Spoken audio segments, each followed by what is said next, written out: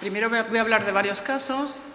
Voy a hablar también de eh, lo que a mí me interesa de todos estos casos, que es cómo el tercer sector y la ciudadanía utiliza datos y para qué, eh, cómo los obtiene, qué dificultades, qué, retos eh, enfrenta y eso, y el papel de los datos públicos y abiertos en gatillar, en dar energía, en, poblar estos, estos datos eh, estos proyectos eh, ciudadanos.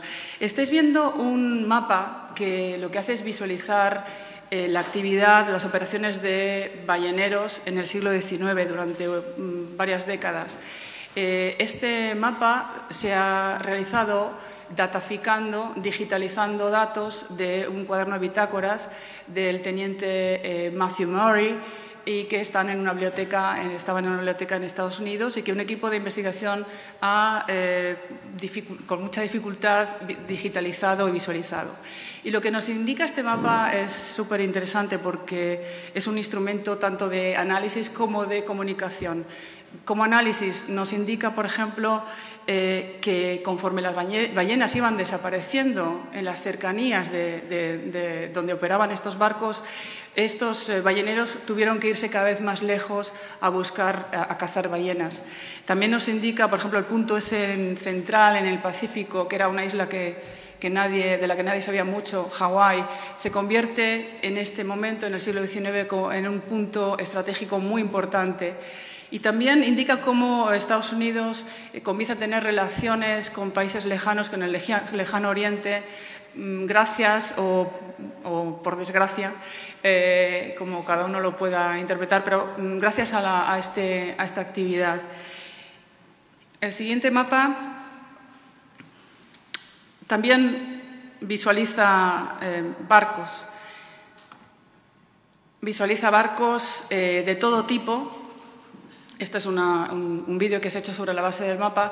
Es un mapa que visualiza datos del sistema de identificación eh, al que se tienen que adherir todos los barcos de cierto tamaño, simplemente para no chocarse.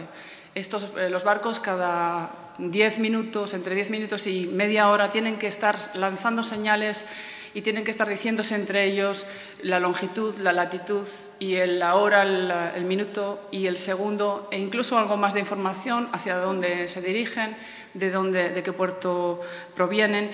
Este es un mapa que ha realizado una organización en Londres que se llama KILD y que, lo ha hecho con datos satelitales y que refleja el movimiento eh, de todos los barcos del mundo, excepto pesqueros y cruceros, es decir, tanqueros, eh, barcos que llevan carga seca, barcos que llevan em, carga que puede rodar hacia afuera y hacia adentro, por ejemplo, vehículos.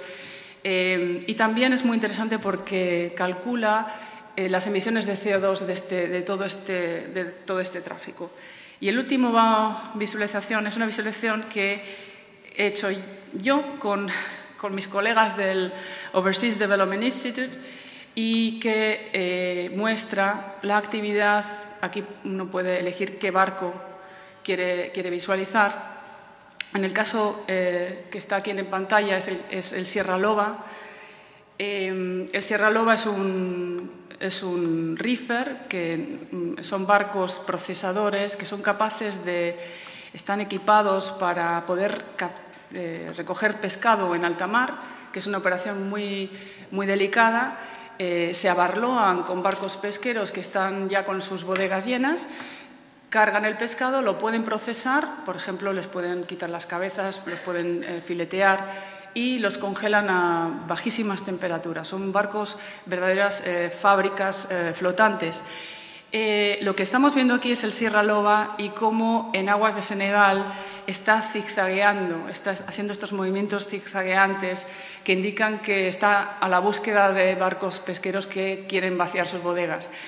Eh, los puntos, los círculos eh, eh, en, la, visualización lo que indican es que se ha parado o ha parado motores o está navegando a muy poca, velocidad y está precisamente transfiriendo el pescado ¿no? en todos estos círculos. El problema es que Senegal prohíbe esta operación en sus aguas Este es el problema. Este es un barco eh, con bandera de eh, Antillas holandesas operado por una empresa europea en Holanda. Entonces, os quería mostrar estos, estos ejemplos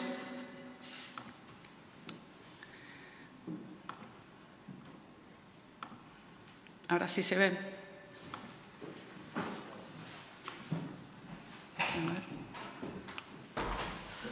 Se ve toda la...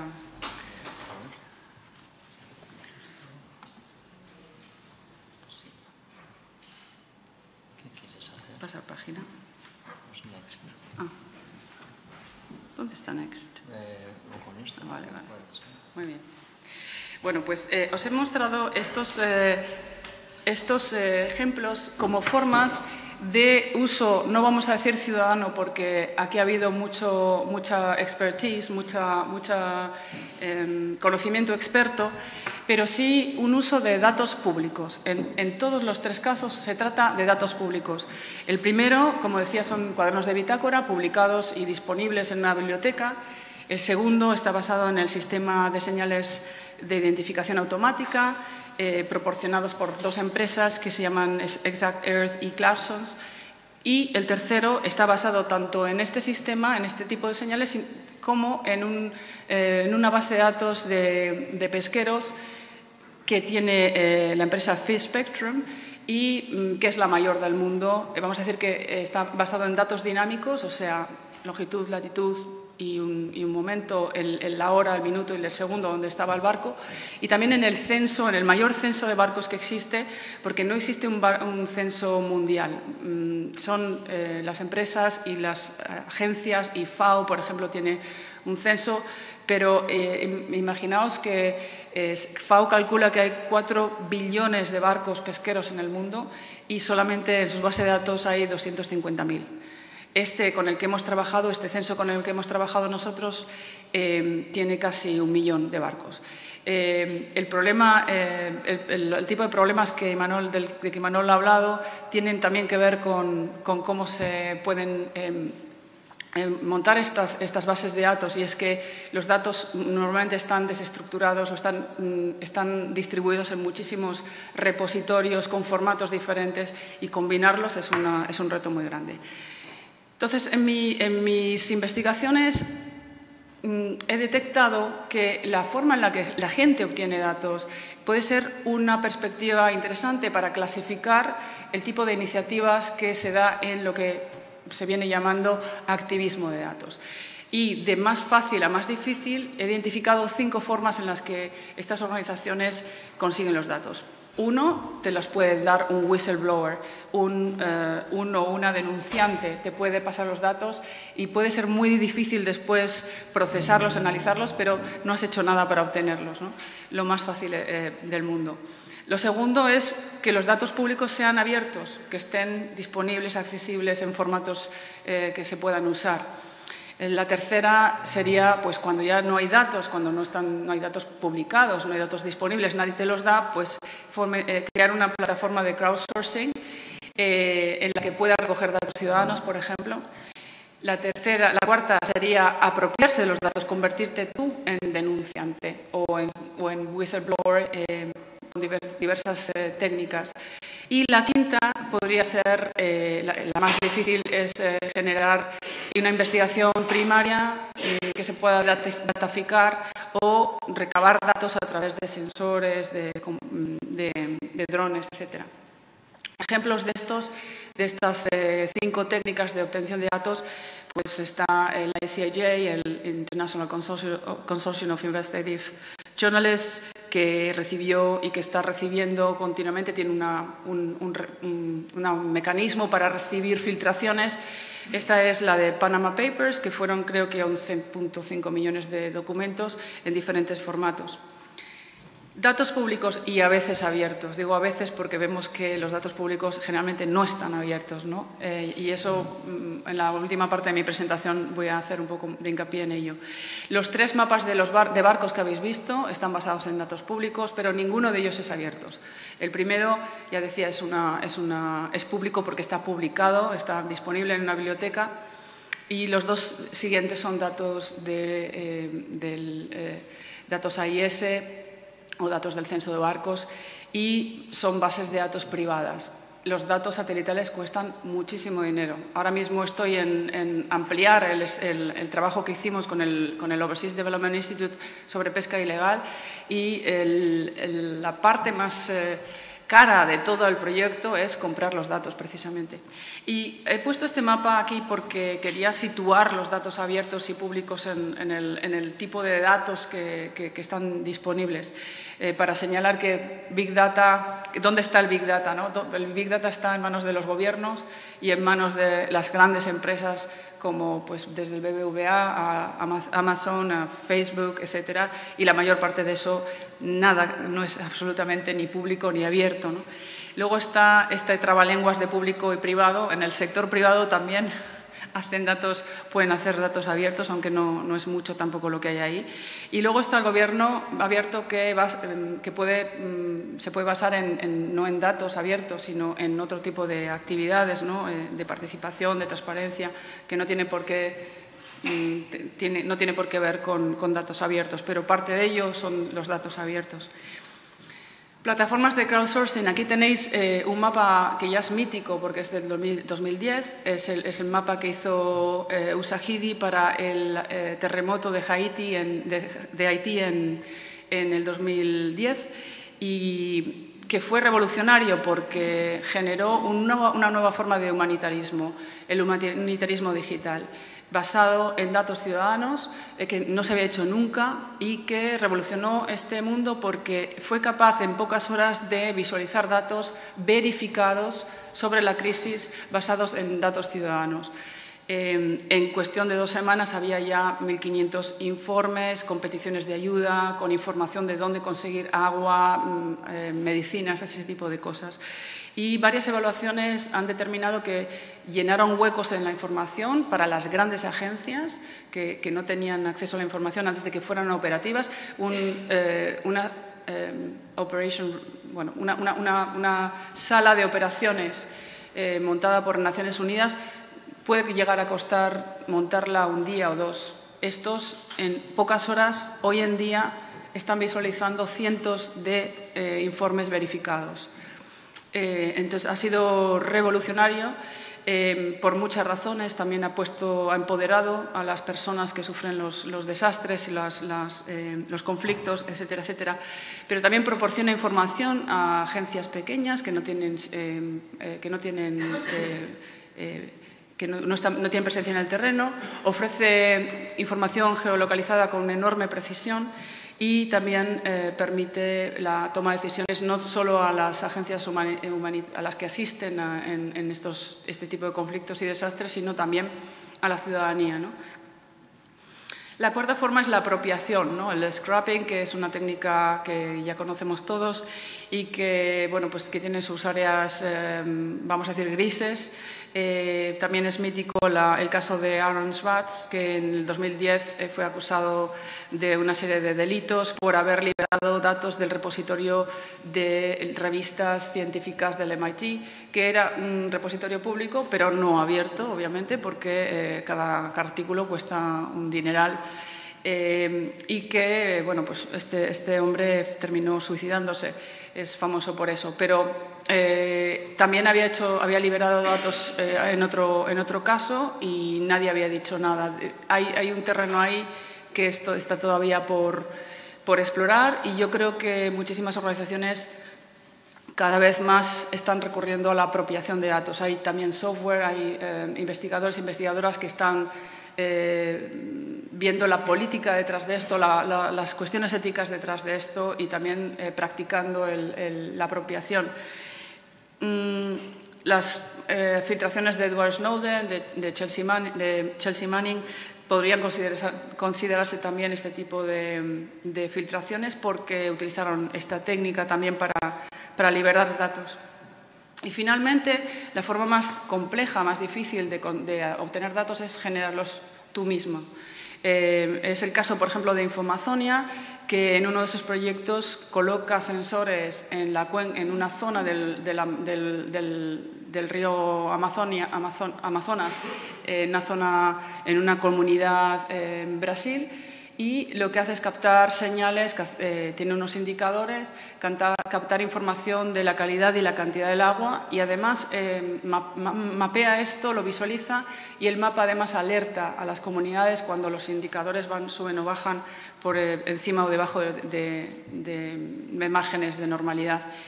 Otra forma de captar datos muy interesante es el desarrollo de planes de de drones comunitarios. Eh, We, Robotics es una organización que, hace training, que, hace, que, proporciona los, los drones eh, a comunidades que necesitan captar datos. Tiene la, ventaja de que utiliza fotografía de en alta definición, que es eh, difícilmente rechazable, porque con esa, con esa alta definición pues, es eh, de enorme calidad, pero este tipo de experiencias se han hecho antes también, eh, pues con cometas, con globos. En Indonesia, en los años 90, hubo eh, actividades muy interesantes de mapeo, de, contramapeo en, zonas de, selva en las que las comunidades decían al gobierno no estamos de acuerdo con la forma en la que estás repartiendo nuestro territorio para la explotación eh, para, las empresas mm, extractivas. Alguna reflexión sobre el papel de los, de los datos públicos y abiertos, eh, basadas, basadas en tres informes en tres eh, fuentes. Una es el último Global Open Data Index, que señala algunas de las problemáticas que, se han puesto encima de la mesa hoy eh, en el, tema de la liberación de datos. Em, globalmente, dice el, index, el, Global Index eh, el Global Open Data Index, dice que es difícil encontrar y a veces imposible encontrar datos públicos, abiertos y en línea, que aunque se encuentren están en formatos eh, a veces que no se pueden utilizar, que las licencias abiertas no están claras, que crean confusión para, la reutilización y que es el diálogo que tiene que haber entre los y las generadores de, datos y la, reutilización no es a veces no, es el mejor del mundo. Em, por tanto, el nivel de reutilización es, es bajo, según este informe, y es todavía más bajo en, la ciudadanía y el tercer sector. De hecho, este otro informe de, europeo de Reusing Open Data em, habla solamente de reutilización en el, en el, sector privado, no habla de quién está reutilizando en ciudadanía, en el tercer sector, los datos. Y señala también problemas parecidos. Eh, hay que aumentar el volumen, hay que aumentar la calidad, hay que hacer que las descripciones sean claras porque hay bastante confusión, que los formatos sean compatibles, que, sean, eh, que se pueden hablar entre ellos, que los datos sean más fiables. Hay mucha heterogeneidad, eh, dispersión en, repositorios diferentes, que lo hace todo muy difícil. Y también hay que generar, y esto mm, me parece menos necesario en el sector privado, que ven muy claramente cómo se pueden explotar los datos para generar valor. Eh, me parece todavía más importante en, la ciudadanía y en, el tercer sector, ¿no? generar conocimiento y concienciar. Y el tercero, bueno, pues es un, libro que acabo de publicar que se titula Data Activism and Social Change, eh, que habla de cómo la gente utiliza los datos. Y ahí eh, concluyo, no, yo, sino muchísima gente ya lo, dice y, y, está de acuerdo en que los datos públicos deberían ser abiertos, a excepción de, con pocas excepciones, pues cuando, los cuando esa liberación puede eh, dañar la privacidad de las personas eh, o su seguridad. Esto es un tema controvertido, no es tan fácil como yo lo digo. Por ejemplo, en, mapeo de crisis, eh, aunque tú anonimices los datos, es muy posible que si se da en un contexto de no democrático, donde tienes gobiernos represivos o donde hay un conflicto armado, dar eh, datos podría revelar la identidad de las personas que los han proporcionado. Entonces, no es tan fácil como yo lo digo, pero sí que a veces no se entiende muy bien por qué mm, no se han abierto datos que son públicos. ¿no? No, se entiende muy bien. Y luego, pues, eh, dos conceptos muy interesantes que son data literacy y data agency, que están relacionados y que en donde está habiendo ya también muchas publicaciones interesantes. Mm, el data literacy tiene que ver con las, eh, em, las habilidades, la formación, la capacidad, eh, las competencias digitales de las personas que les hacen capaces de, poder mm, intervenir en todos estos procesos. Y luego Data Agency, que es que en castellano suena muy, muy raro porque agencia de datos parece como una institución a la que uno llama y, le dan un dato, es, eh, es la, la, acción democrática ciudadana con el dato, la acción que empieza no con la reutilización. Eh, aquí también hay mucha literatura científica que se está dando eh, y que insiste en que esta acción se debe dar en la generación del dato. O sea, no en que nos den los datos cocinados, sino que la gente intervenga en el cómo se generan los datos abiertos también. O sea, que no nos llamen a participar al final del proceso, que nos llamen a participar desde el principio. Eh, y cómo se involucra a la ciudadanía y las organizaciones también en las herramientas, en el, código, en el escribir los algoritmos. Eh, también hay muchísima ah, literatura que se está generando sobre sesgos algorítmicos, eh, cómo las mujeres eh, se les ofrecen trabajos menos remunerados porque el algoritmo lo ha escrito un señor blanco no en, California. Ese tipo de cosas eh, se, intuye que cuando hay eh, más participación desde el primer eh, momento en la generación del dato y en la, generación del algoritmo, pues se, podrían prevenir, se podrían, mm, se podrían eliminar de forma más, más fácil. Y, luego está pues, la concienciación y todo eso. Mm, sobre la importancia de, de este asunto. ¿no? A, dónde voy, y ya termino, a dónde voy es que los datos públicos y abiertos tienen un, papel muy importante que, desempeñar en este, en este mundo, porque aunque es solamente, vamos a decir que es uno de los métodos a los que acuden los y las activistas de datos, pues es un método muy importante que tiene la capacidad de gatillar otros proyectos, de darles la base, de darles, eh, de darles eh, sentido, etcétera, etcétera. Eh, y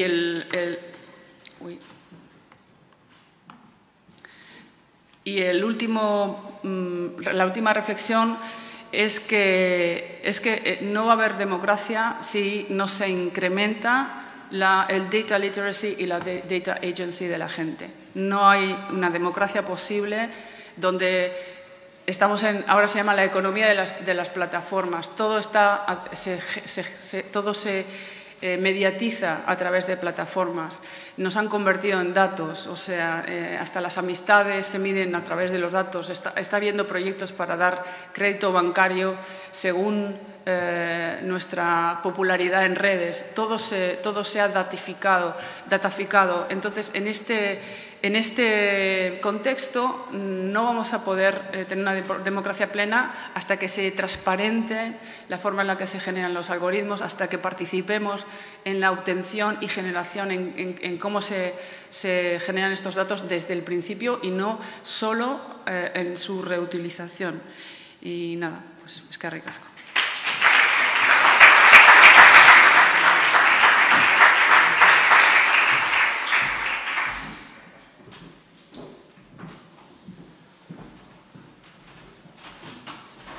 Bueno, eskerrik asko miren, e,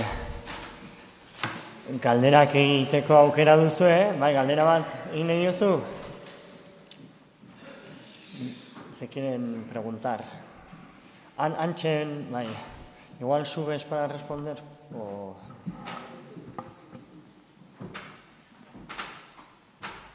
Bai, e, galdera e, Euskaraz ala gaztelean izan bar dut? Si puede ser en castellano, porque mi euskera es vale, ba. lamentable. Eh, oso motz, lehenengo euskaraz da gara gaztelaniaz. Eh, bi galderatxo egin nahi ditut, oso motzak, ez? Lehen, Senegal aipatu duzu, eta ez dakit kritiko, kritika puntu bat edo somatu izut, eta eh, ez dakitak izun Senegalek azken eh, berreun urteetan eh, eh, ba, pairatu duen sakeoa bere, bere itxasuetan, eta bueno, hori jakinda ez nik eh, uste dute, bueno, ulergarria izan ditekeela ez kolaboratu nahi izatea e, olako peskeria proiektuetan eta bar, ez, orduan ez dakite e, badakizun Senegalek e, proiektu, aipatu zuen proiektu horretan e, ez parte hartzearen e, arrazoia. A ver si entendido bien. Eh, Sí, te preguntaba que eh, antes has comentado que Senegal se había negado en un proyecto de, de colaboración, no sé si era por la pesquería y tal, y mm, te preguntaba a ver si sabías la razón, ¿no? Porque eh, en los últimos 200 años Senegal ha sufrido eh, un sa- saqueo, en, Saqueo sus, en sus aguas, en la pesquería, sobre todo proveniente de Europa, y, y, bueno, pues podría ser eh, comprensible esa, esa negativa a colaborar eh, con, con otros, ¿no? Entonces era simplemente esa pregunta. No, la prohibición que existe en Senegal eh, mm, para, que se realice esta operación de trasvase de un barco a otro de pescado eh, es porque es en, esa es en ese momento, sin, ninguno, eh, sin ningún observador, donde se mezcla el pescado ilegal e ilegal. Entonces, hay algo, algunos países como Senegal que lo prohíben. Después de publicar este mapa, también otros países del África occidental se eh, dieron una moratoria y, prohibieron esta operación en sus aguas. Entonces, eh, no es que haya falta de cooperación, es que mm, como Senegal no tiene la capacidad de patrullar sus aguas, como Senegal no tiene la capacidad de observar esas operaciones, eh, lo que hace es decir, bueno, ustedes vayan a puerto, en, en el puerto hay inspecciones y vamos a poder controlar esto un poquito más. Eh, ahora, eh, eh, estas tecnologías mm, están abriendo la, posibilidad de que se puedan vigilar estas operaciones con drones, con, otro tipo de, de- tecnologías. Además, también hay gente que hace, nosotros hacemos, generamos evidencias en retrospectiva, ¿no? O sea, nosotros miramos qué pasó en el año 2017, porque los datos están ahí. Pero hay otras or- organizaciones que lo que hacen es ver en, en- en casi, en casi tiempo real. Entonces, es ahí donde hay una- un espacio muy prometedor, porque si en tiempo real yo detecto que hay alguna operación que dura unas horas, eh, que se está produciendo, yo puedo mandar una, una patrulla y en vez de estar patrullando to- todo, el, todo el todo el, el esto. Pero no es una, una cuestión de no colaboración, es una cuestión de que no se puede controlar, eh, tal y con los, los recursos que tiene Senegal, no se puede controlar esa operación y por eso la prohíben. Y están muy en su derecho. Gracias por la respuesta, por aclararlo. Y mi segunda eh, pregunta, muy corto, ¿eh? es sobre el Big Data. ¿no? Al final todos sabemos que tiene eh, varias dimensiones, o por lo menos una, una cara más oculta. Aquí está claro que esta charla no era dirigida a esa, a esa parte, pero bueno, yo te quería preguntar un poco sobre eh, si hay algún, algún mm, algún algún límite sobre la eh, obtención de datos, ¿no? porque al final hemos habla- has puesto un montón de ejemplos y que además la ciudadanía tiene que colaborar eh, eh, para decidir y para que se recojan más datos. Hay muchas administraciones públicas también que están haciendo un esfuerzo en eso y a mí como ciudadano me preocupa pues bueno, que, que haya ideas como que sobrevuelen drones por las calles de Donosti, no sé si leí el otro día, y, una serie de cosas que las administraciones públicas están analizando, están recopilando un montón de información que aunque luego se anonimiza, como has comentado tú, eh, puede haber agujeros eh, que pueden repercutir en, la gente y no solo eh, si el gobierno es, no es democrático, sino en otros muchos casos. Entonces, si a ver si hay establecido o haya un consenso, o bueno, cuál es tu opinión sobre la, eh, el límite en la, eh, en la obtención de datos. Si hay algunos tipos de datos que no se deberían recoger en ningún caso o no, la- la- las empresas privadas pueden hacer lo que quieran, etcétera. Podría estar hablando una semana y no, terminaríamos de, intercambiar ideas. Eh, a ver, eh, ¿qui- ¿quiénes, poseen lo- los datos? Las empresas y los gobiernos, a ver, con, la colaboración de las empresas. Eh, con eh, las filtraciones de Snowden en el 2013 nos dimos cuenta, nos desayunamos eh, a, la idea de que el gobierno de Estados Unidos había estado recabando datos en secreto, sin el consentimiento de, de usuarios, eh, con el consentimiento de primero Verizon, que es una empresa de telefonía estadounidense, y con otras empresas, y también con el consentimiento de gobiernos europeos. Entonces, eh, todo esto se cuece a nuestras espaldas y eh, si no llega a ser por Snowden no nos habríamos enterado. Últimamente, más, más, recientemente, pues el escándalo de Cambridge Analytica, que Facebook eh, utiliza datos sin, sin, el consentimiento de sus usuarios y usuarias para la campaña de Trump, ese es el límite que, que, que debería, debería, haber. ¿no? O sea, esto no se puede, no se puede consentir.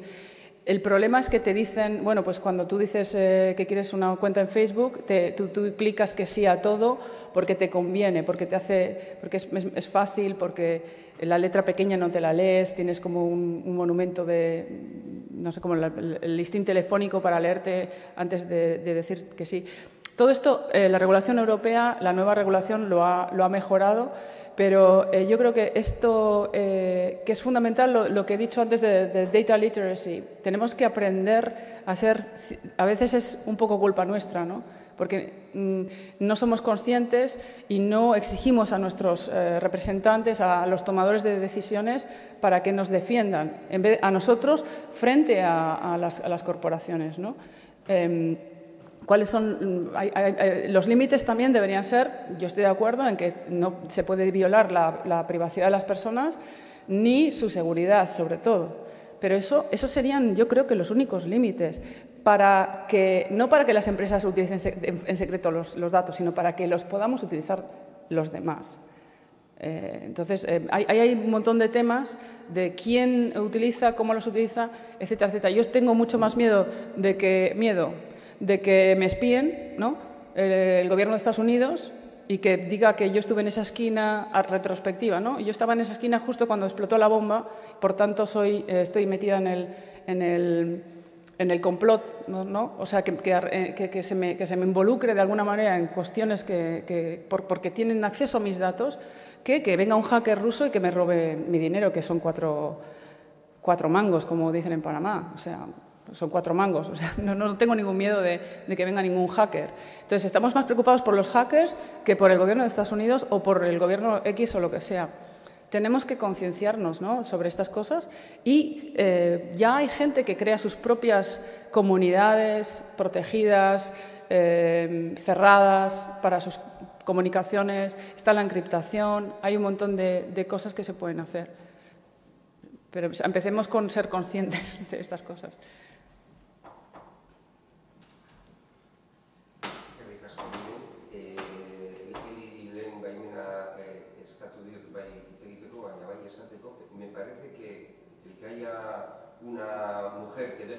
Tan alto en el mundo de la tecnología, pues es de agradecer. Eta, eh, eh, te quería hacer una sugerencia.